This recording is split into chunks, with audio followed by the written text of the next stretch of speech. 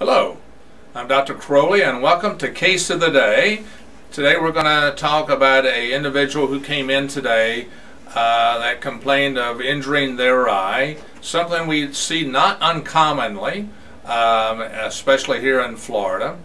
And so what happened was is this gentleman went outside to cut his grass and got his weed whacker out and told me I forgot to put on my protective eyewear and so he's doing his weed whacking and um, suddenly a rock flew up and hit him in the eye.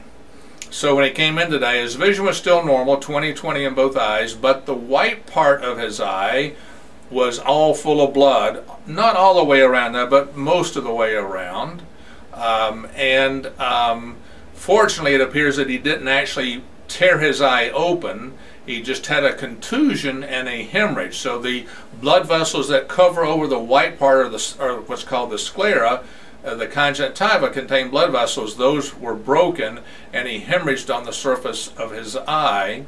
Uh, and we dilated his eye, looked around inside. He didn't do any damage inside his eye or tear his retina, but he has a very large hemorrhage on the surface of his eye. And so um, it appears he's going to be okay and that um, this will heal and he'll be he'll, he will be fine. But these but there can be serious injuries. So someone who is doing something, especially construction work or different kinds of work, and you're doing something like that where you have a risk of having something fly up and hit you in the eye, you must wear protective eyewear because it's just too serious of a problem that when you get a penetrating injury to your eye, that is, the force is so strong it cuts your eye, then you're at, you're at very high risk that uh, you could either lose your eye or lose significant vision in your eye. So if you are weed whacking, landscaping, cutting bushes, where you don't get, get scratched in the eye, grinding, working on a car, or hammering on any kind of object, you got to be wearing safety eye gear because we don't like to see these injuries because they're totally preventable as long as you're wearing protective eyewear. A long time ago, many years ago, I actually had a gentleman who essentially most lost most of his vision. We repaired his eye, but he lost most of his vision because he was he just made a mistake and he was shooting a uh, one of the the nail guns and uh, it ricocheted and didn't go, missed where he was aiming, and came back and hit him in the eye.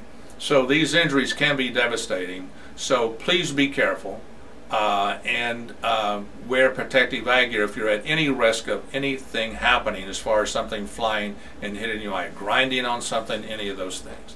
So uh, if you have any questions about that type of injury, you can always contact us through the website. Just an interesting side note, we talked like the time before or so last about EKC or epidemic uh, keratoconjunctivitis and Thygeson's punctate keratitis. I had a patient come in today that looks like they actually have Thygeson's punctate keratitis.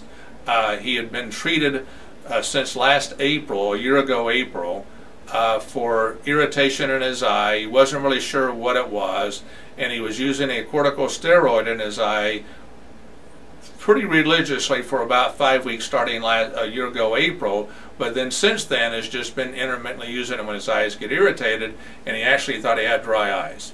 Turns out he does really have dry eyes too, uh, but he has he has this corneal infection that we have to clear up first, and then we, I told him we will get around to correcting his dry eyes. He looks like he'd be a very good candidate for LipiFlow.